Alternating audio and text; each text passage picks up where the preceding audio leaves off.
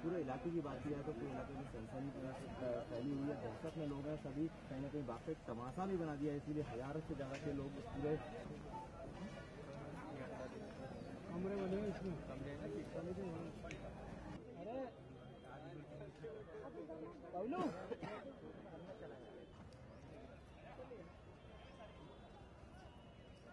निशाना नहीं लगा रहा है इसे अंदाजे से मार रहा है। वहाँ घुसने की जगह निशाना लगा